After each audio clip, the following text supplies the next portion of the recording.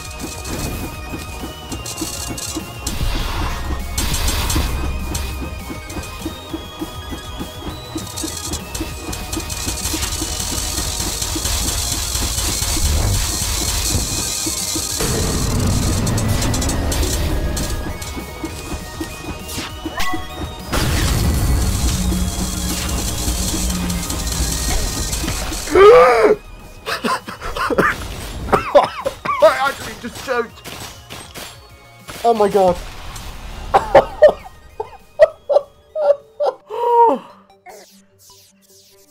Normally I'd celebrate a victory like that, but that doesn't deserve a celebration. That was beyond brutal. Beyond brutal, ladies and gentlemen.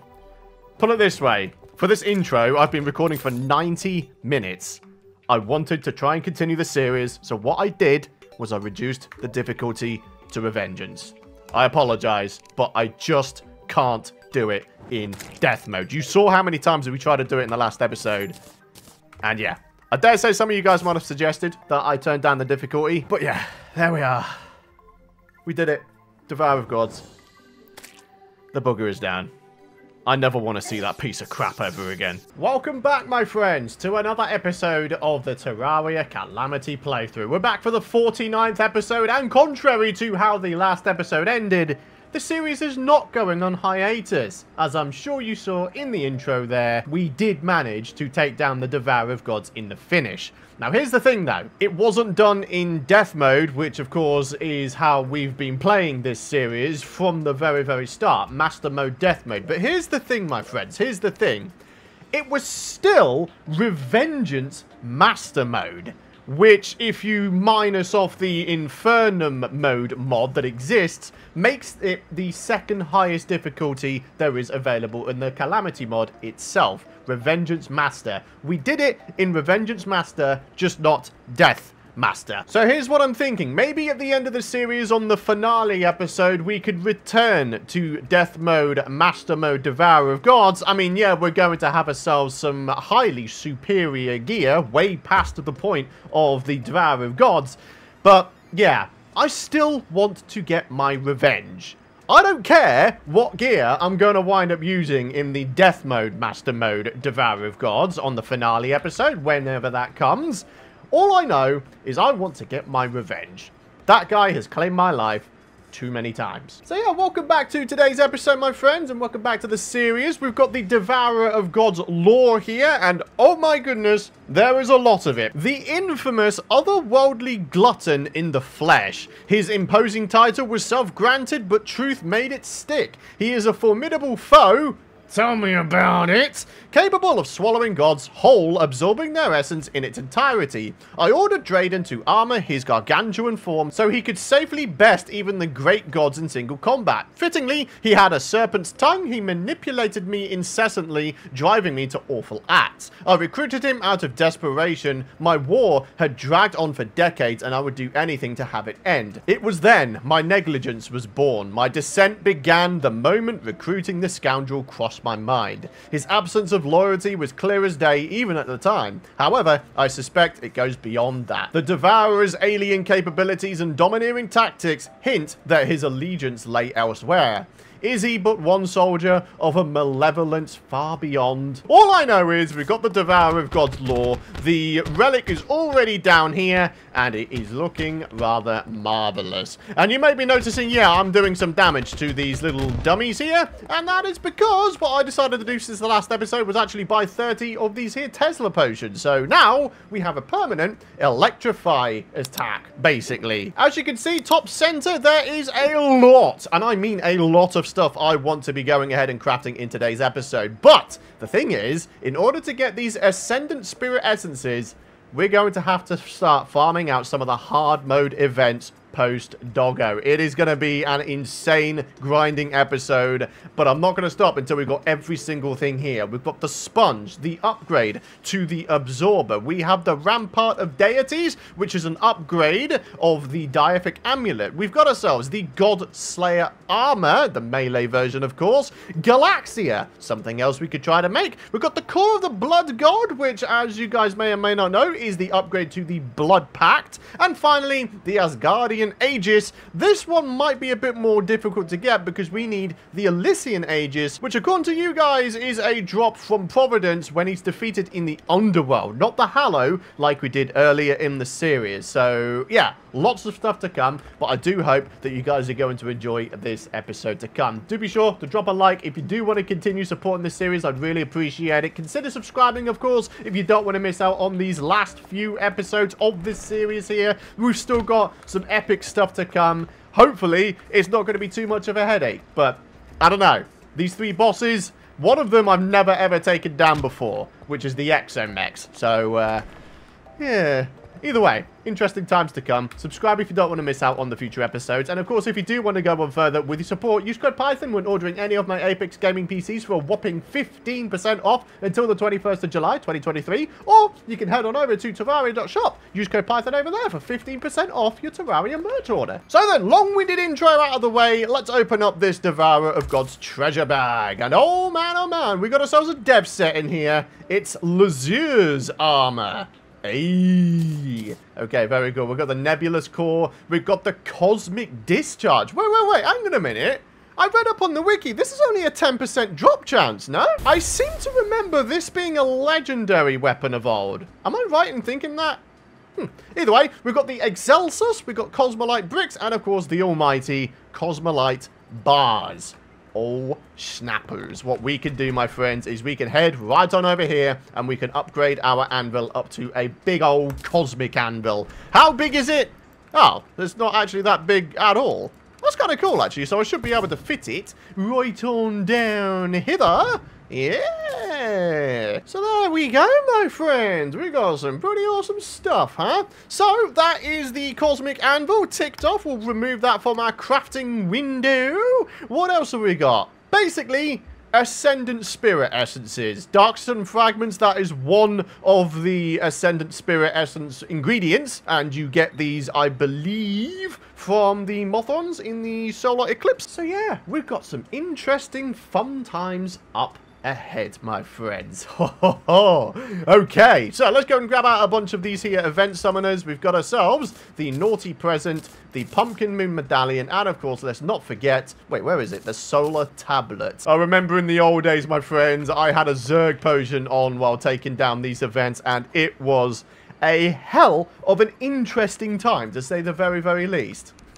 Oh yeah, I didn't really read out what the Nebulous Core does. 10% increased damage, so nice damage boosting accessory. You'll love to see it. Summons floating nebula stars to protect you, and you will survive an attack that would have otherwise killed you and be healed 100 HP. This effect has a 90 second cooldown. Hey, that sounds pretty good, my friends. Maybe something to consider for future boss fight. Oh, yeah! We got this thing we can make as well. The Occult Skull Crown. Nightmare Fuel, gotten from the Pumpkin Moon, which we're going to be doing in today's episode. Oh, snap. All right, what I want to do is see if I can't get myself some nice little reforges.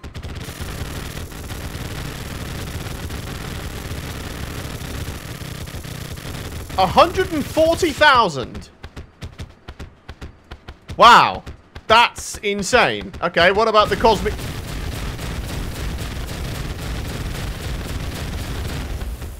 Yeah, okay, that's, uh, that's pretty loud. I may actually have to turn down the sounds just a little wee bit. Holy crap. So then, here we go, my friends. We're going to start off with the solar eclipse here. Daytime. Solar Eclipse.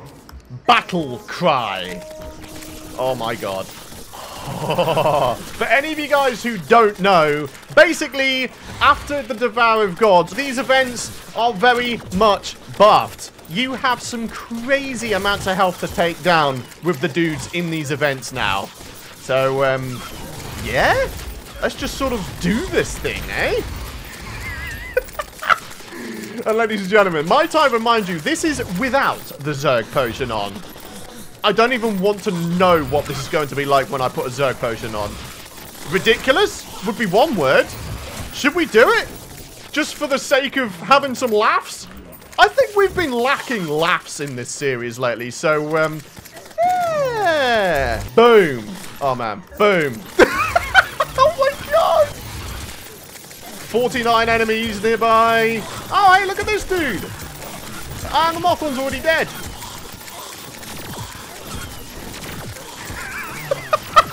oh, gosh. oh, my God. It's a very real possibility that we might wind up hitting the item despawn limit here. Which would not be ideal, because we need these Dark Sun fragments, don't we? So, um, yeah. Let's try and be careful with that. Let's try not to hit the item despawn limit. Alrighty. I think I'm just about done with that grinding. If I could have a nice deathless episode, barring the intro, of course, that would be lovely. Alright, we got a lot of things to pick up here, my friends, so let's go ahead and do exactly that. Okie doke, 156 Dark Sun Fragments. Hell yeah! Alright, excellent. Pretty much everything can just be chucked away. I do not care for it all. Alright, I'm pretty okay with not using the Zerg potion. So I think what I'll do is I'll put the Zerg potion away. Also, the solar tablet can, for now, go away as well. I want to have myself a nice clean inventory. Oh, good grief. All of this is all backed up as well. Interesting. Hey, guys, check this out. It actually turns out I can make Galaxia. Yeah, there it is, baby. True Biome Blade, that's exactly what we're looking for. Cosmolite bars, dark sun fragments, and we will have ourselves Galaxia. So there we are. Galaxia has been created. And... Okay, this is what it does. Oh, mama. Isn't this craziness? Only costs 44 gold to reforge? Wow, that is surprisingly not a lot. Can we get by any chance... Oh my god. You can get legendary 2019 melee damage. So then, it looks like, similar to the previous tiers of Biome Blade, you can go ahead and attune this weapon, presumably depending on the biome you're in. We've got active attunement here, Phoenix's Pride, Passive Blessing, Capricorn's Blessing. Uh, so what, do we do a little bit of a right click and it does something? Uh, okay, passive blessing, Cancer's blessing. Periodically releases a ring of life-stealing stars around yourself. Wow. Whoa. What the heck is this, man? wow. Okay, Aries' Wrath. That is some craziness. Okay, no, and now we're back to normal. Aries' Wrath. Oh, looks like we can sort of uh, just do a little bit of a cycle around. Oh, dude, that's so cool. All right, Galaxia. Excellent. Yeah. Oh, yeah. Excellent. Good old Galaxia. Quarter of a million damage per second, I think I saw there at one point. Oh, my gosh. I will take it, my friends. The Nightmare Essence absolutely stacking the heck up. My friends, the crazy thing is we don't even have the Zerg potion on, and we've still got over 100 enemies nearby. Oh, look at this. Now things are getting interesting. Maximum wave. Obviously, this is still 1.4.3. We don't have the newly buffed amount of waves to the Pumpkin Moon. So, yeah, still only on 15 waves in Terraria 1.4.3. Alrighty, I have been doing this for a fair while now. Enough to have nearly 1,000 Nightmare Fuel, my friends. There are so many drops now on the floor. It is utterly ridiculous, and I can't possibly be expected to go through and pick them all up. There's just no point. All of this stuff is stuff I already have. Things are about to get festive. Ladies and gentlemen, the Frost Moon with a battle cry. Bada bing, bada boom. Wait, I want to have a specific attunement. Not that one. Not that one. Yeah, the circly circle. Oh, yeah, that's what I'm looking for. Wave 7, 8, uh, 9, 10. Yeah, this ain't taking very long now, is it? Utter craziness. No other word for it. Utter craziness. Time to deactivate the battle cry? I think so, my friends. I think so. Right. Let's see if we can continue poning the poop out of people. I'm actually going to die again here. Hang on a minute. That's unacceptable if you ask me. We are this late into the game and we're dying. No way, Jose. I think what I'll do, my friends, similar to the Pumpkin Moon, is we'll go for just under a thousand-ish. I don't really have any reason for going just under a thousand. Maybe we just go for, you know, a thousand, and then hopefully that'll be enough for us to not really have to do this again, you know what I mean? So, that, guy's dead, and that guy's dead. This guy over here is going to die as well. Yes, you are. Alrighty. I think we're just about done, my friends. Pirates are approaching. They bloody well are not. Let's get rid of that, shall we? So there we have it. 960 endothermic energy. That was the last piece of the puzzle, so we can start making ourselves some Ascendant Spirit Essences and really start going to town in terms of our cosmic upgrades. So then, a quick relog just to clear the world of all of the items on the ground. And ladies and gentlemen, we are ready to actually do this thing. Post Lunatic Cultist Materials. There it is. Endothermic Thermic energy, Nightmare Fuel, Dark Sun Fragments, and of course, Phantoplasm. Oh, snap, snap, snap. There's going to be a lot of things done here, my friends. Uh, oh, it's actually made at the Ancient Manipulator. Okie doke. So we've got 4, 8, 11, 13, 15, 19, 23. We need 23 Ascendant Spirit Essences. 1, 2, 3, 4, 5, 6, 7, 8. Go on. Uh, let's get this all done. There we are. Actually being able to make all of it. Absolutely brilliant. And at this point, we need to tally up all of the Cosmolite bars we need. Needless to say, I don't think we've got enough right now. But the good news is this we can head on over to a certain operator NPC. And not only can we get ourselves a treasure bag, but we can also kill two birds with one stone. Because I'll tell you what we don't have. A Devourer of Gods, a mask, Cosmic Worm Scarf, Staff of the Mech Worm, Obliterator. Oh, it's a yo-yo. Oh, that's kind of cool. We've already got the Excelsus, so we pretty much just got to wind up selling anything unique that we get. I'm going to keep. We've got the Nebulous Core. We don't have a Cosmic Worm Scarf, but it's just a vanity thing, so I'm not really too fussed about it. What I am fussed about is trying to get myself one of those beautiful masks. All right, another one. What do we got? Uh, more of the same. We got another weapon here, the Death Hail Staff. 641 damage. Okay, very cool. Nope, nothing in that one. We're getting so many Cosmolite bars, though, and I tell you what, I am here for it. It does exist, I just seem to be getting criminally unlucky in terms of not being able to get this damn stuff. I don't know, man. I'm starting to, uh, I'm starting to doubt things. The Norfleet, that is another unique weapon. Kind of cool. There it is. Wow, that um, that took a very, very, very long time and a good amount of treasure bags. In fact, a hell of a lot of treasure bags, in fact. But the fact of the matter is this.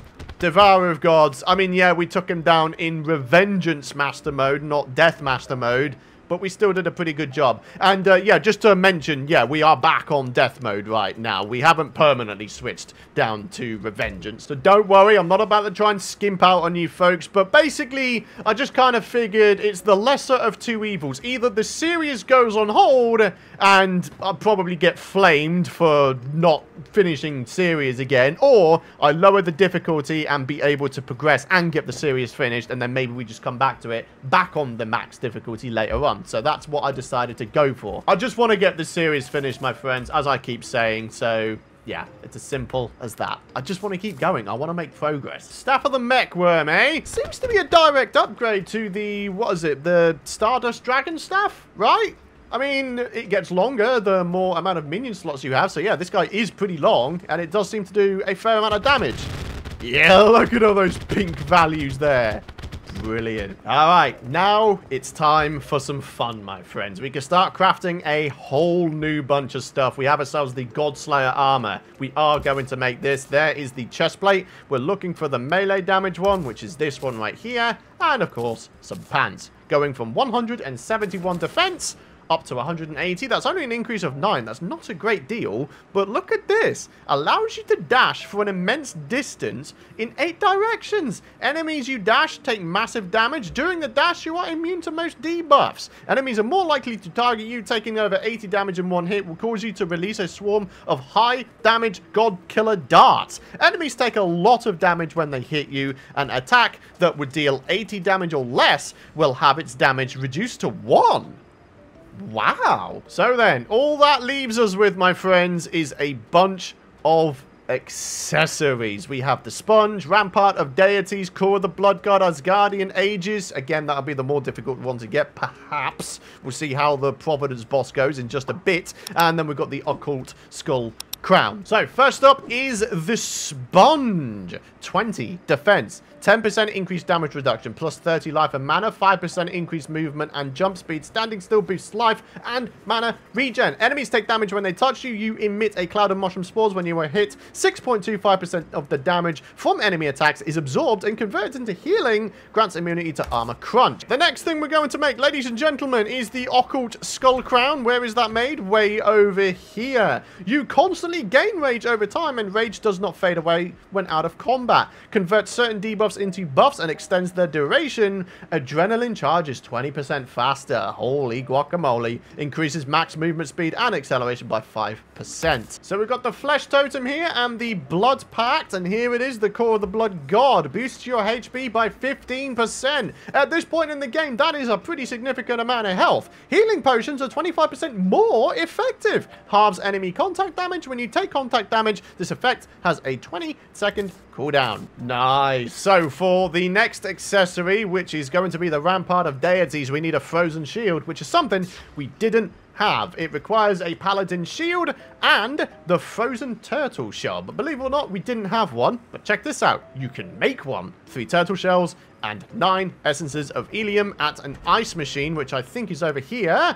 Yeah. Excellent. There is the Frozen Shield. And my friends, we should now be able to do this not right there, but right there. Rampart of Deities. So then, ladies and gentlemen, now is where the fun times begin. We have to actually take down Providence down in the underworld. The good news is, we do of course have ourselves an arena. Whether or not it's going to be enough remains to be seen. So we've got warding on the sponge because it seems like a very sort of defensive accessory. I feel like that makes sense. Warding on the occult skull crown simply because, again, it gives a bit of defense. Warding now seems to give 10 defense extra as opposed to just 8 or 6 previously or even 4. Wow, that's some craziness right there. Rampart of Deities, yet again, I think, a bit of warding. So then, Godslayer armor. I've got all of my new accessories on. I have a whopping 905 health now, which is just insane. And even more insane, 258 defense. Okie dokie. Let's see how this goes, eh? What we can't do is get too far ahead of ourselves, of course. There's going to be a whole bunch of projectiles flying towards us. Yep, there they are. We're already almost dead. Come on, come on, come on. Oh, I forgot about that phase. Ah, damn. I forgot about that. You go too far away from Providence and uh, she starts getting a little bit annoyed. I just really hope that this Elysian Aegis is a guaranteed drop from the Underworld Providence. Only if it isn't, then that's going to kind of suck. Yeah, okay. I'm noticing something here. There's a lot of holes in my platforms, and we need to do something about that because that's actually kind of annoying. The amount of times I fell through those platforms and it affected my ability to dodge attacks. Yeah.